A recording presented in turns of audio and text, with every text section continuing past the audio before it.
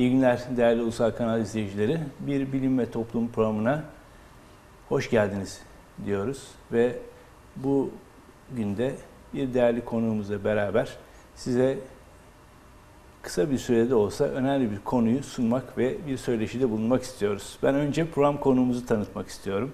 Sevgili Profesör Doktor Bülent Coşkun hocamız. Hoş geldiniz. Hoş bulduk. Çok teşekkürler. Evet. Aslında Bülent e, Coşkun hocamız benim aynı zamanda mesai arkadaşım. Bir dönem birlikte, uzun bir dönem değil mi? Kocaeli Üniversitesi'nde birlikte görev yaptık. E, ben patolojide, o psikiyatride e, ve bir e, dönemi paylaştık. Evet. E, güzel bir dönem olduğunu, üretken olduğunu biliyorum. Bugün e, ruh sağlığı hastalıklarına değişik bir bakış ile e, programı sınırlayalım dedik. Bunu yapmamızın bir nedeni de aslında bu Ekim ayında aynı zamanda bir Dünya Sağlık Örgütü'nün belirlediği bir gün var değil mi?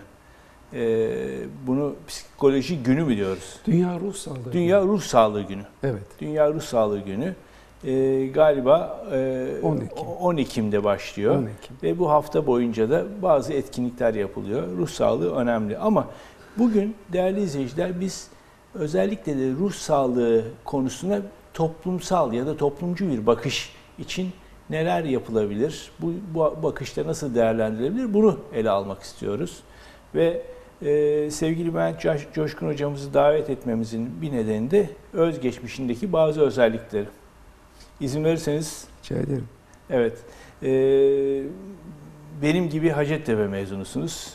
78 mezunu olduğunuzu şimdi ve de ruh sağlığı hastalıkları konusundaki uzmanlık eğitiminizi de orada aldınız. Evet. 82'de uzman oldunuz değil mi? Ee, Doğan Karan Hoca'yı analım mı? Rahmetli çok değerli bir insandı. Evet, tabii. çok hepimizin sevdiği bir bir son dönemine yetişebildim ben ama e, ruh sağlığı ve hastalıklarının önemli isimlerinden birisi e, Doğan Karan Hoca tez danışmanınız olmuş. Sonra önemli bir nokta da Sağlık Bakanlığı'nda yaptığınız gö- görev yaptığınız bir dönem var. E, burada özellikle de e, Sağlık Bakanlığı'nın e, temel sağlık hizmetlerinde değil mi? Evet. Temel sağlık hizmetlerinde ve ruh sağlığı daire başkanlığı. Evet. Epeyce uzun bir dönem. 6 yıl kadar. 6 yıl kadar. Ve burada da aslında belki Türkiye ölçeğinde ruh sağlığına bakma şansı buldunuz herhalde. Öyle mi? Evet. Çok şey öğrendim. Güzel. Sonra da bir Kocaeli Üniversitesi'nde öğretim üyeliği döneminiz Ondan var. önce bir de bir 3 yıllık İnönü Üniversitesi. İnönü, var. Malatya'da çalıştınız Evet. değil mi? Ve de şimdi e, yine aslında görev emekli olduktan sonra da yine de göreve devam ediyorsunuz eğitim vermeye ve özellikle başka bir özellik daha var. O da 1900 e, pardon 2015'ten beri de e, Toplum Ruh Sağlığını Geliştirme Derneği Evet. değil mi? Evet. E, şimdi e, bu derneğin başkanlığını yürütüyorsunuz. Şimdi biz bir hafta önce izleyenler belki hatırlayacaklardır. Yine ruh sağlığı hastalıkları ilgili konuştuk. Orada hepimizin aslında ruh sağlığının bozulduğu dönemler olabiliyor. Ee, ve bu hastalıkların tedavisi ile ilgili çok değişik yöntemler olduğunu, ilaçlar ve e, psikoterapi ile ilgili çeşitli seçenekler olduğunu biliyoruz ama burada en önemli soru şu. Acaba diğer hastalıklardan korunmak gibi hasta olmadan önce ruh sağlığımızı korumak mümkün müdür? Ve bunun için neler yapılabilir? Belki böyle bir soruyla açmak istiyorum. Ben önce e, bu güzel programa davet ettiğiniz için teşekkür ederim. E, tabii ki e, bazı tıbbi durumlarda olduğu gibi mesela bir aşı yapalım da ruh sağlığını koruyalım dememiz mümkün değil. Ama e, genel halk sağlığı e, ilkeleri doğrultusunda e, farklı sınıflandırmalar oluyor yapılan işler, yapılabilecek işlerle ilgili. E, bir tanesi e, daha e, herhangi bir hastalık söz konusu olmadan e, önleyici, koruyucu hizmetler. E, ikinci başlık erken farkına varmak, kısa sürede tedavi olabiliyorsa Bütün hastalıklarda olduğu, olduğu gibi, gibi. temel prensip ellerin elinden geleni yapmaya çalışmak. Üçüncüsünde de e, hastalık e, seyrini, akut seyrini tamamladıktan sonra yeniden uyum aşamasında, topluma yeniden uyum aşamasında e, kişiye destek olmaya çalışmak. Bu üçlü ruh sağlığı için de geçerli. E, tabii ruhsal ruh sağlığı dediğimizde ruhsal hastalıklardan e, bugün ağırlık oraya vermeyi istemiyoruz ama söz etmeden e, olmuyor. Çünkü çok karışıyor birbirine. Evet. E, ruh sağlığıyla ruh hastalıkları. Ben ruh sağlığı daire başkanıyken Sağlık Bakanlığı'nda psikiyatri daire başkanlığı deme eğilimi olurdu bazı arkadaşlarda. Ben de düzeltmeye çalışırdım. Ruh sağlığı biraz daha geniş bir kavram. Psikiyatriden daha geniş bir kavram. Evet. E, ve ben kendimi de hep öyle tanımlamaya çalışmışım. Psikiyatrinin karşılığı ruh hastalıkları mı diyelim peki? Ee, ruh hekimliği. ruh hekimliği aslında Evet. uzmanlık olarak evet, ruh hekimliği. iatri. Psikiyatrik hastalıklar deyince Evet. ruh sağlığını bozan hastalıklar anlamına geliyor. Evet, sadece ama hastalıklarla ilgilenmiyor psikiyatri. İlgilenmiyor olması gerekiyor. Ee, koruyucu anlamda hastalığa yakalanmadan veya e, sağlığı geliştirme, birazdan değiniriz Evet, evet. umarım. E, sağlığı geliştirme için de e, psikiyatristlerin, psikiyatri eğitimi almış kişilerin ve hekimlerin e, diğer ruh sağlığı çalışanları gibi yapacağı çok şey var. E, ve sizlerin de var. Evet. İşte bu tür tanıtım etkinliklerinde olduğu gibi. E, ağırlığı ruh hastalarına verdiğimiz zaman da e, geçen hafta ben de izledim. E, genç arkadaşımız Alişan'ın vurguladığı e, tarihsel gelişim içinde dünyanın her yerinde önceleri çok itilmiş, uzakta tutulmaya çalışılmış ruhsal e, problemi olan kişiler. Hatta zaman zaman bazı bulaşıcı hastalıklardan veya e, hırsızlardan, çete mensuplarından, eşkıyalardan bile ayrılmamış. E, yaşanan yerlerin uzaklarında tutulmaya çalışılmış. Ondan sonraki bir adım kurumlar içinde, depolar içinde tutmak. Sonraki adımda depoları iyileştirip depolardaki e, insan e, haklarına, hasta haklarına uygun olmayan davranışların dikkat çekmesi nedeniyle e, genel hastanelerin içine psikiyatri servislerini yerleştirmek ve toplum temelli ruh sağlığı hizmetleri diye e, toplumun değişik e, kurumlarında e, ruh sağlığı hizmetini vermek e, ve bu arada da bir bütünleştirme e, gayreti içinde genel sağlık hizmetleriyle ruh sağlığı hizmetlerinin bütünleştirilmesine e, gayret etmek. Belki e, toplumsal bakış açısı dediğimizde e, bunu e, vurgulamak istediğimizi Evet. söyleyebiliriz. Burada bir de korumak ve geliştirmek arasındaki kavramı da açabilir miyiz? Yani Tabii. ruh sağlığını korumak ne demek? Siz derneğin adını geliştirme olarak belirlemişsiniz. Evet. Ruh sağlığını geliştirme ne demek? Neden? Ee, şöyle e, aslında korumak ve önlemeye çalışmak da yer yer birbiriyle geçişen kavramlar ama günlük dilimizde daha çok kullandığımız koruyucu psikiyatri, koruyucu ruh sağlığı diyoruz. Ee, korumak ya da önlemek söz konusu olduğunda temel bakış açısı neden koruyoruz, neyi önlemeye çalışıyoruz? Hastalık. Hastalıktan korumak. hastalığın öne çıktığına, çıktığı duruma e, koruyucu ya da önleyici hizmet diyoruz. Halbuki diğerinde ruh sağlığını geliştirme, güçlendirme dediğimizde sağlığın geliştirilip güçlendirilmesi Bir bütün olarak ruh sağlığının güçlendirilmesi Evet. var anladığım ki kadarıyla. çok güzel onu e, vurguladınız e, Kürşat Hocam. E, hastalarda da, ruhsal hastalığı olanlarda da ruh sağlığının güçlendirilmesi, geliştirilmesi söz konusu olur. E, herhangi bir ruhsal hastalığı olmayan kişilerde de. Dolayısıyla bu koruyucu çalışmalarla geliştirme çalışmalarının örtüştüğü, kesiştiği yerler var ama ilgi odakları e, biri hastalığa odaklı, biri sağlığa odaklı. Evet. Burada daha bütüncül bir yaklaşım var gördüğüm kadarıyla. Evet. Şimdi bir söz vardır biliyorsunuz. Hani aklıma mukayyet ol falan Evet. gibi. Bazen insanlar onu Allah'ım diye hani Tanrı'dan Allah'ım sen aklıma mukayyet ol ya da "Ak- aman sen aklımı koru Evet. falan derler. Şimdi bu bizim e, şeyde vardır. Şimdi e, o zaman şöyle yapalım. E, korumak ve geliştirmek için her iki Evet. kavramı birlikte kullanabiliriz. E, ne gibi çabalar e, yürütülebilir? Çünkü burada tehdit edici etkenler çok karmaşık. Evet. Bizim hem akıl hem bir de akıl sağlığı ve ruh sağlığı var. Bunda da isterseniz çok kısa onu da açıklar mısınız? Akıl zaman sağlığı, ruh sağlığı. birbirinin, Birbirinin yerine yerine kullanılabiliyor ama sanki arada bir nüans var. E, akıl sağlığı denildiğinde daha e, sanki akıl hastalıkları denildiğinde daha ağır hastalıklar, e, ruh sağlığı Psikozlar mı birisinde Evet, sanki evet, düşünülüyor? Akıl hastalıkları olarak. derken. Ama yer yer e, birlik birbirinin yerine de kullanılması yanlış olmuyor. Şimdi aslında e, Neler yapılabilir? evet. E, onları birkaç e, başlıkta belki ele almak e, uygun olur.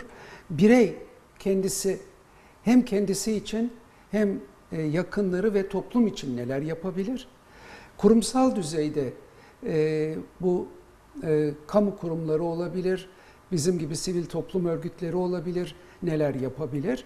Bir de e, devlet mekanizması dediğimiz devletin yapacakları bir anlamda kamu dediğimizle örtüşen yanlar da var ama daha e, ilkeler düzeyinde planlayıcı neler- ve Evet. belki strateji belirlemek açısından. Kesinlikle.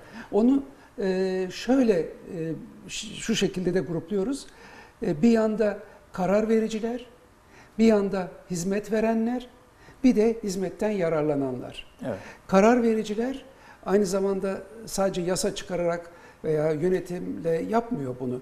Finanse ederek de karar verici rol oynuyor. Ee, burada özellikle bu aşamada çok farklı sektörlerin e, rolü söz konusu. Ee, yani birkaçına e, değinmeme Lütfen. izin verirseniz. Tabii. Mesela ilk akla gelen sağlık sektörü. Ama onun dışında eğitim sektörü, e, kolluk kuvvetleri, e, Basından bahsettiniz. kesinlikle basının çok geniş bir yelpaze içinde katkısı olumlu ya da olumsuz olabiliyor diğerlerinde olduğu gibi. E, para kaynaklarının geçerli olduğu yerler.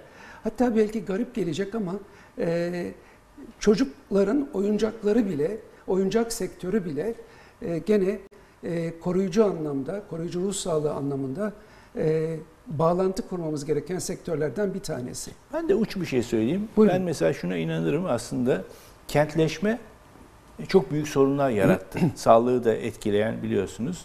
Ee, aslında ruh sağlığı için de geçerli. Kesin. Yani e, meydanlar, büyük meydanları, parkları, ferah e, havası olan bir kentte yaşamakla, kolay ulaşım sağlamakla, e, tam bunun tersi e, çok küçük barakalarda ya da dört duvar arasında yaşamak, e, güneş görmeyen yerlerde olmak bunlar ruhsal açısından herhalde e, kişiye çok farklı e, tablolar Mutlaka, çizer. mutlaka. Ne dersiniz? Yani mimari Mutlaka. ve e, kentleşme bile Zaten Çok önemli. bununla ilgilenen e, belediyelere burada önemli, yerel yönetimlere önemli Mutlaka. görevler düşüyor örneğin. bazı e, mesela Dünya Psikiyatri Birliği'nin bazı birimleri var. Onlardan bir tanesi de bu çevreyle ilgilenen e, birimler.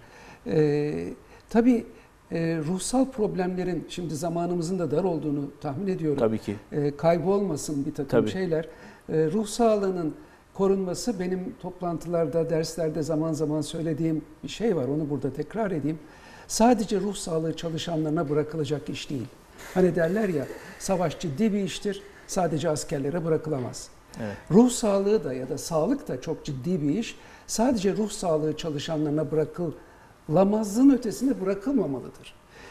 Az önce vurguladığınız gibi e, belediyenin, e, yasa koyucuların, e, kaynak sağlayıcıların, eğiticilerin, e, mesela aile e, ile ilgili hepimizin yetiştiğimiz en temel kurum e, çocukların kendini kendilerini buldukları kurumda e, onlara bir takım kavramların verilmesi, ilk dünyayı tanımaları bu şekilde oluyor. E, bu arada e, bu toplantıda olacağımı bilen bir e, sevgili arkadaşım Zeynep Şimşek, sosyal çalışmacı. E, bakanlıkta bir dönem birlikte çalışmıştık. E, bir mesaj yollamış.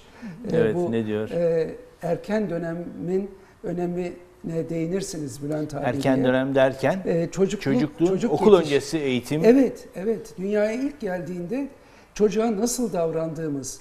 Tabii buradan e, erken dönemde kendim dedim ya e, bir bireysel olarak yaptıklarımız var. Bir de geniş bir yelpaze düşünürsek e, toplumsal olarak yapılması gerekenler. E, burada ülkelerin veya dünyanın genel kalkınma düzeyi, e, tersi yoksulluk durumu, bireylerin gelişmesini, bireylerin ruhsal gelişimini, bedensel sağlığını çok yakından etkiliyor.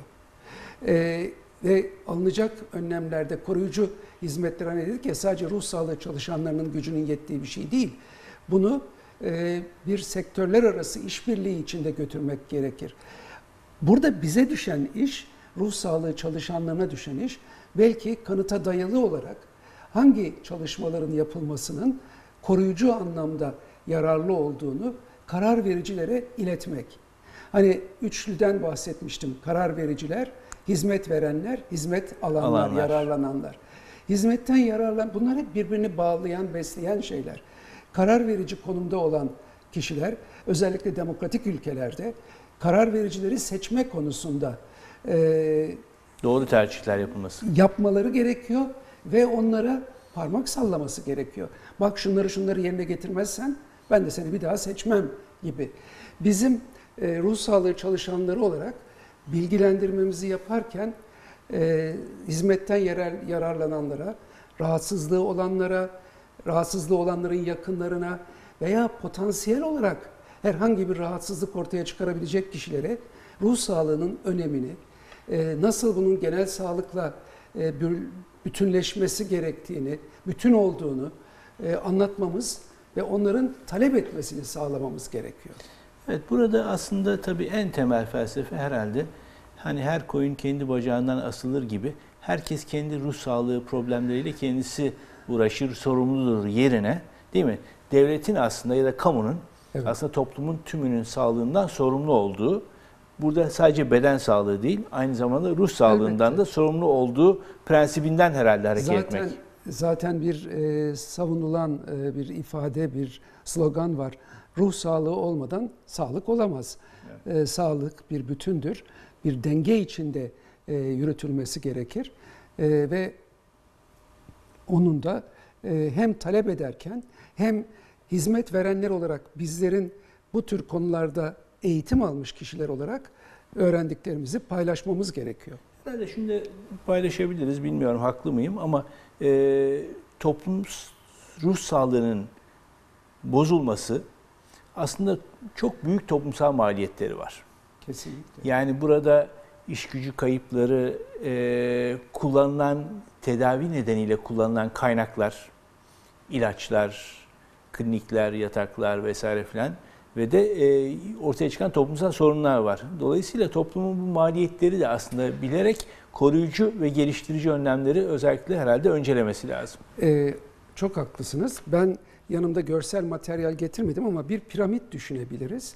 Piramidin en altında e, oldukça ucuz ve yaygın sağlanabilecek kişilerin kendi sağlıklarına gösterecekleri özen. Bunu atlamayayım, döneceğim nasıl olacağıyla ilgili. Tamam. Ee, onun üstünde belki e, sağlık kuruluşlarının temel sağlık hizmeti veren e, birimlerde yapılan hizmetler, gönüllülük bağlamında yapılan hizmetler, daha sonra e, hastanelerde verilen hizmetler ve en yukarıda da ruh hastalıkları hastanelerinde verilen hizmetler. Takdir edileceği gibi ruh hastalıkları hastanelerinde verilen hizmetler çok daha az kişiye yönelik ama çok daha pahalı. E, altta yapılacak çalışmalar veya onların e, geliştirilmesi için sarf edilecek gayret hem ucuz hem çok daha Yaygın, yaygın, insanı kapsıyor. koruyucu hizmet olabilir. Evet. Neler onlar? Evet. Vaktimiz Tabii var tabii mı? tabii. Neler onlar? Mesela e, sağlığın e, güçlendirilmesi dedik. Nedir o sağlığın güçlendirilmesi? E, insanın kendi becerilerinin, bilgilerinin, e, kapasitesinin farkında olması. Farkındalık çok önemli bir kavram. E, onun dışında sağlıklı yaşamayla ilgili beslenme, uyku, e, egzersiz yapma, bütün bunların ruh sağlığıyla ilgili de çok yakından ilgisi var. Örneğin bilinen, kanıtlanmış bir e, bilgi, Dünya Sağlık Örgütü'nün e, vurguladığı bir nokta. E, basit düzeyde denebilecek depresyon e, durumları için, karamsarlık hastalığı tablosu için ilaç kullanmadan e, sadece e, egzersizle, sadece yaşam tarzındaki bir takım değişikliklerle yol almak mümkün. Spor Birçok- önemli. Evet, birçok kişi e, ilaca karşı böyle bir e, tavır koyuyor. E, burada haksız oldukları yerler var. Belki ufak tefek haklı oldukları yerler de var. Biz de kendimize bir şeyler batırmalıyız. Belki e, sağlık sisteminin aşırı yüklenmesi ha- a- altında e, doktorun ilk yaptığı şey hemen reçete yazmak oluyor. Birileri de ondan e, korkuyor. E, bu da önemli bir piramit ama benim söylediğim, söylemek istediğim Güzel bu bu değildi. piramitte evet. Bu da benzer bir piram- Çok piramit. güzel. E, fizyolojik ihtiyaçlardan kendini gerçekleştirmeye kadar giden teşekkürler rejiye. evet. E, sizi yakından takip ediyorum. Vay, evet arkadaşlar. evet dinliyorlar öyle anlıyoruz. E, bu işte beslenme, egzersiz, e, sonra günlük e, alışkanlıklarımız, tercihlerimiz, bağlılıkla bağımlılık arasındaki e, denge, kritik denge Hocam burada peki istihdam politikaları önemli değil mi? olmaz olur mu? Yani Kalkınmayı, ruh sağlığı olumlu yönde etkileyebilir. Ee, genel e, sorunlarda eğitim yetersizliği, işsizlik, e, zaman zaman e, farklı düzeylerde olan çatışmalar, e, göçler, göçler, zorunlu göçler özellikle değil mi? Evet. Ve e, mesela insanların kendi e, kararlarını veremeyecek durumda olmaları, birilerine bağımlı olmaları. E, siz medya olarak bizi birilerinin e, itici gücü sayesinde seçimlerimiz konusunda çok yönlendiriyorsunuz. Evet. Siz yapıyorsunuz bütün. O reklamlar, Valla ben bir şey yapmadım. reklamlar mesela e, Evet. bizi e, Aslında baskı altında tutuyor. çok fazla. Özellikle karar verme konusunda henüz eleştirel Çocuk- düşüncesi çocukları, yeterince gelişmemiş gençleri. e, çocukları, gençleri e, veya belki bunu da söylememe izin verirseniz yaşı ilerlediği halde eleştirel düşünce kapasitesini sorgulamayı e, yeterince geliştiremeyip kullanmayı yapamayan kişiler de kolaylıkla baskı altında kalabiliyorlar. evet. Moda e, adı altında veya kısa sürede bir şeyleri aşmak adına e, televizyondan, basından çok etkileniyorlar. Evet. Yani burada ben e, hep şunu savunurum. Tam istihdam belki bir hayal gibi geliyor insanlara. Yani bu toplumda yaşayan herkesin bir işinin olması, Tabii. benimsediği, keyif alarak yaptığı e, ve karşılığında da e, insana yakışır bir yaşam tarzını ona sağlayabilecek gelir elde ettiği bir işinin olması aslında birçok e, toplumsal ve ruhsal problemlerin herhalde Tabii, e, çözümünü sağlayabilir. Mesela bir Bu bir baş- hayal gibi görünüyor ama bunu Değil, gerçekleştirmek bunu aslında yapacak, insanlığın e, ideallerinden birisi olması yapacak lazım. kişiler gene e, toplum, bizler. E, tabii bu arada e, damgalama, ötekileme, Heh. ötekileştirme e, konusu da var üstünde durmamız gereken. Ruhsal sorunu olan kişilerin önemli bir kısmı e, yardım alma ihtiyacını bile e, göz ardı edebiliyor. Ama bu damgalama ve ötekileştirme sadece e, kuşkusuz ruhsal sorunu olanlar için geçerli değil. E, toplumun içinde farklılıkların e, yadırganması, itilmesi, birilerinin üstüne basarak yükselme gayreti. E, bu da belki e, yetersiz eğitimden kaynaklanıyor, e, kültürün olumsuz etkilenmelerinden kaynaklanıyor. Bizim bunlarla uğraşmamız da ruh sağlığını güçlendirmektir, koruyucu Evet. hekimliktir. Ee, değerli hocam, sanat ve edebiyatın rolünü de sorabilir miyim? Biraz ters bir soru belki ama Hiç değil, bilmiyorum. hiç yani değil. çünkü şöyle bir şey biliyorsunuz aslında e, sanatın, edebiyatın ortaya çıkış nedenlerinden bir kısmı da belki e, hayat çilelerle doludur aslında Değil kısmen. mi? Değil mi? Yani sevinçleri var, kederleri var vesaire, ölümler var, ayrılıklar var ve bunları insanlar e, bir şekilde e, sanat ve edebiyatta dile getirirler, kendilerini ifade Sinema da ederler, paylaşırlar. E, sinema dahil, tabii bütün Evet. güzel sanatları. Evet. E, bunun da herhalde bir rolü olabilir. Mutlaka. Onunla, onunla ilgili görüşünüzü almadan çok kısa bir araya gireceğiz. Tamam. E, ben soruyu sordum, cevabını ben hazırlamaya Aradan çalıştım. sonra lütfen. Tamam. Ee, Teşekkürler. evet değerli izleyiciler, sevgili Bülent Coşkun hocamızla özellikle ruh sağlığı dan korunma ve ruh sağlığının geliştirilmesi, ruh sağlığı hastalıklarından korunma ve geliştirme konusunda e, ki söyleşimize kısa bir reklam arasından sonra devam edeceğiz.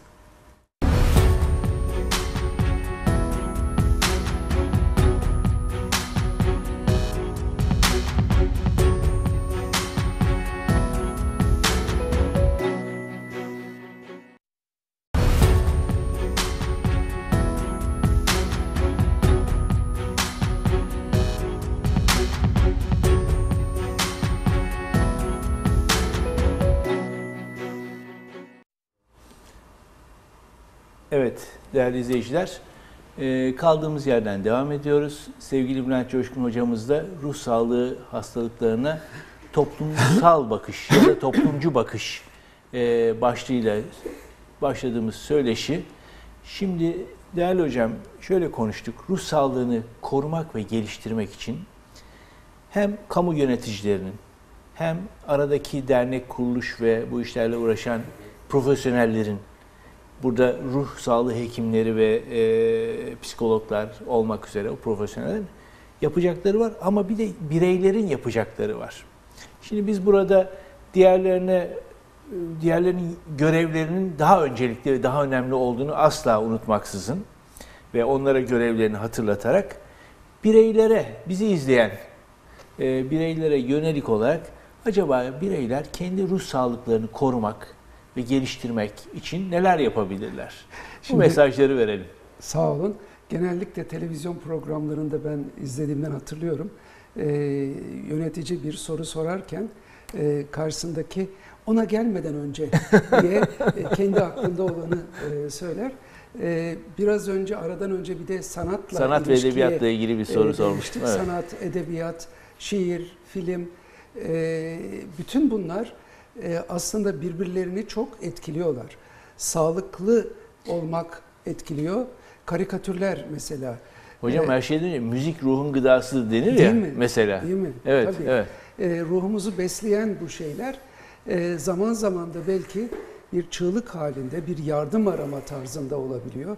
Özellikle psikiyatri ve sinema belki ayrı bir konu olabilir. Evet. Onun birbirlerini etkilemesi, e, e, olumlu yönde, olumsuz yönde etkilemesi çok e, tartışılan, çok üzerinde çalışılan bir konu. E, bizim bir hocamızın da e, bir e, şiir iyileştirir e, diye bir sunumu olacak önümüzdeki günlerde. Ne güzel. E, Profesör Doktor Gürkan Doğan e, Toplum Ruh Sağlığı Geliştirme Derneği'nin düzenlediği bir toplantıda çok güzel. zamanınız olursa sizi de çok bekleriz. çok memnun olurum. Ee, şimdi bireyler olarak ne yapılabilir? Ee, mesela gene şiddet konusunda da e, medyaya biraz takıldım ya.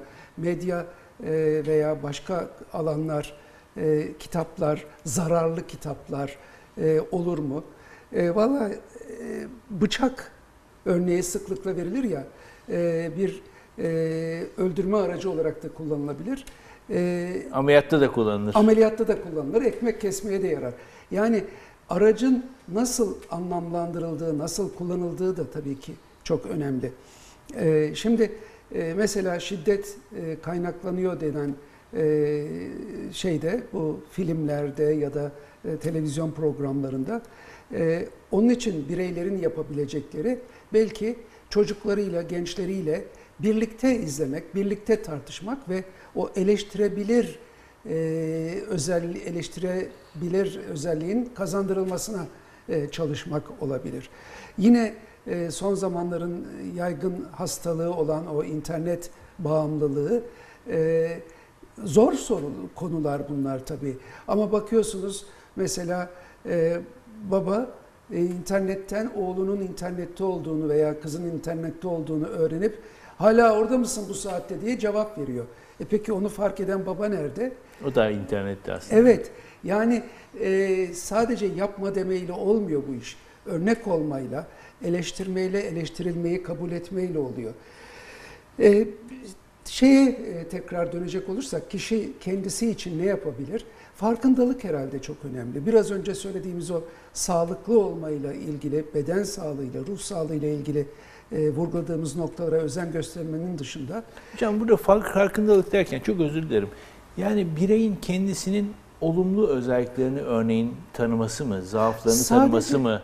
Yani Ha. hepsini kendini iyi tanıması ve burada belki e, kritik bir e, çözüm gibi görünüyor öyle mi? Evet yani e, sadece olumlu yönleme değil, geliştirilesi yönler. Olumsuz demeyi çok tercih etmediğimiz için e, gelişmiş ve geliştirilesi yönlerini kişinin farkına varması.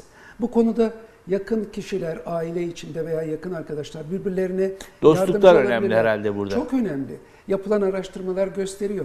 Dostluğu olan kişiler, yakın arkadaşları olanlar, yalnız olanlara göre eee, çok daha sağlıklı ortamda yaşayabiliyorlar. Mesela bu yılki Dünya Ruh Sağlığı Günü'nün konusu kendine zarar verme, intihar. Evet, onda hemen e, kendini, girmemiz lazım. e, geliştirme, ruhsal geliştirme vardı. Orada da yalnız kalmak, e, kendine zarar verme, kendiyle baş başa kalma, e, sıkışmışlığı yaşamak için olumsuz bir faktör.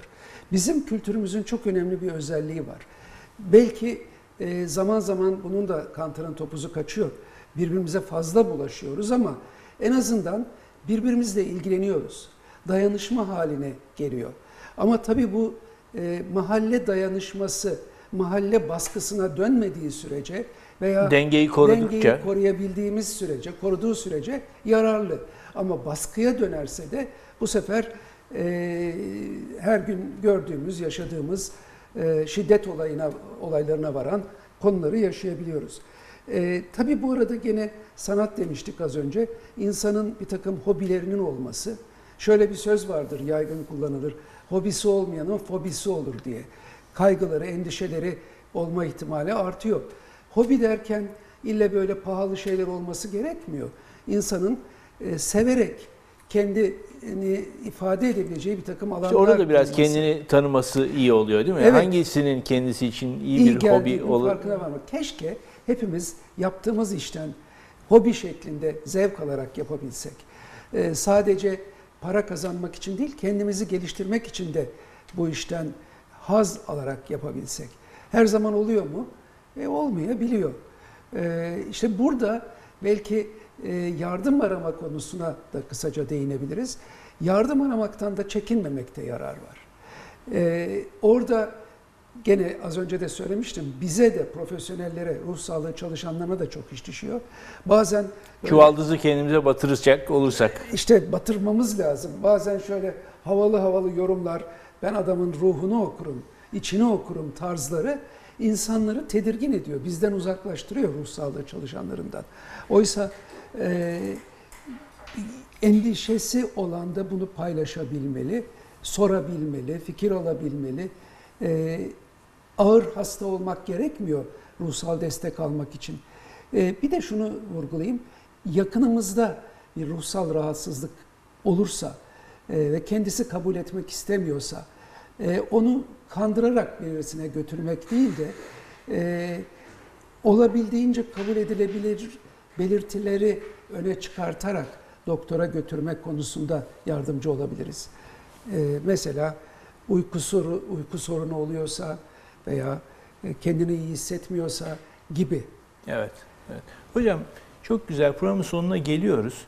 Bir soru daha sormak Buyurun. istiyorum. Bu özellikle ruh sağlığı hastalıkları konusunda diğer hastalıklardaki yaklaşımımız gibi koruyucu yaklaşımla e, riskli gruplar Evet. daha çok yani hastalık e, hastalığa yani ruh sağlığının bozulma riski olan gruplara karşı özel tedbirler gerekir mi? Yani aklıma gelen mesela ergenlik dönemi gibi ya da yaşlılık dönemi gibi yahut da özel gruplar yani bunlar da sizin yine bu koruma ve geliştirme kapsamınızda mı? Mutlaka. Ee, ergenlik riskli gruplardan bir tanesi. Dediğiniz gibi e, yaşlılık da öyle. Ee, belki e, İşsizler çocukluk da- atıyorum. Ha, tam sözü oraya getirecektim işte. Herkes için geçerli olan e, Şimdi atana, çok özür dilerim atanamayan öğretmenler diye bir grup var mesela değil mi? Ataması E, bu- yapılmayan bu öğretmenler. Bunların içinde çok sayıda intihar oldu mesela. Ya da bir, bizim dikkatimizi çekti. haksız yere işini kaybeden çok insan oldu. Yani e, ve işini kaybettiği için e, evine ekmek götüremeyen insanın gene aynı şekilde e, zaman zaman e, cezaevlerinde, zaman zaman terk edilmiş bir şekilde toplumun içinde Evet. yalnız kaldıkları oldu. E, Bunlara ilişkin de özel önlemler alınması gerekiyor herhalde. özel önlemler kalkınmaya, demokrasiye, e, kendimizi değil de toplumumuzu düşünmeye ihtiyacımız var. Evet. Ee, belki son bir cümle alabilirim. Ee, kapanış için. Siz dernek olarak özellikle topluma vereceğiniz bir mesaj ne var? Bilmiyorum. Toplum Sağlığını Güçlendirme Derneği Başkanı olarak. kendimize e, ve toplumumuza belki hani bulduğun gibi bırak anlayışı vardır ya e, nasıl e, kendimize nasıl davranılması gerekiyorsa bu şekilde davranmaya çalışmak. İletişimde e, özellikle birkaç S ile giden şey var. E, saygı var, sevgi, e, şefkat, Şefkat. e, affedebilmek. Ama bunların her biri gerçekten geniş geniş altı Evet. doldurulacak şeyler. E, her, önce kendi sesimizi, kendi gönlümüzün sesini dinleyelim. Herhalde o Çok önemli. herhalde anahtar burada Evet. yatıyor değil mi? Evet. Evet. Çok teşekkür ediyoruz. Yani e, toplum ruh sağlığı tabii çok geniş kapsamlı bir konu. Etkileyen çok faktör var ve bunların hepsini bir program sınırı içinde konuşmak mümkün değil. Ama en azından şunu ben öğreniyorum ki e, birçok hastalık gibi aslında ruh sağlığı hastalıkları konusunda da temel yaklaşımımız aslında koruyucu ve ruh sağlığını geliştirici önlemlere ağırlık vermek. Çok özür dilerim. Şunu söylemezsem olmayacak. Bağımlılıklardan korunmak için, sigaradan, madde bağımlılıklarından korunmak için çok somut yapılacak şeyler var. riskli gruplardan bir Evet. kısmı da onlar zaten. Evet. Ee, Evet. o bakımdan da çok teşekkür ediyoruz katkılarınız için. Ee, ve e, izleyicilerimizin de tahmin ediyorum kendilerine ilişkin bazı mesajlar aldığını düşünüyorum. Toplum liderleri ve siyasetçilerin aslında buradan bazı mesajlar çıkarmaları lazım. Ee, bu programın anısına ben size bu Bilim İtopya'nın e, son sayısı biraz konumuzla ilgili sayılabilir. Daha çok tedavi kısmı ama Olsun. E, bilişsel davranışı te- terapili işleyen kapak sayısıyla bunu da size Çok program anısına e, takdim etmek istiyoruz. Çok Ve çok teşekkür ediyoruz. Ben Bir başka programda yine buluşmak dileğiyle konunun İnşallah. başka bir kısmını belki incelemek ve irdelemek amacıyla. Değerli izleyiciler, e, bir bilim ve toplum programı sonuna geldik. Konuğumuz Toplum Ruh Sağlığını Geliştirme Derneği Başkanı, e, öğretim üyesi Profesör Doktor Bülent Coşkun hocamız, abimiz, büyüğümüzdü. E, ben çok keyif aldım. Umarım sizler de aynı şekilde bu programdan bir şeyler e, almışsınızdır, bazı mesajlar. Yeni bir programda buluşuncaya dek hoşça kalın, sağlıkla kalın ve aydınlık kalın. Teşekkür ederiz hocam.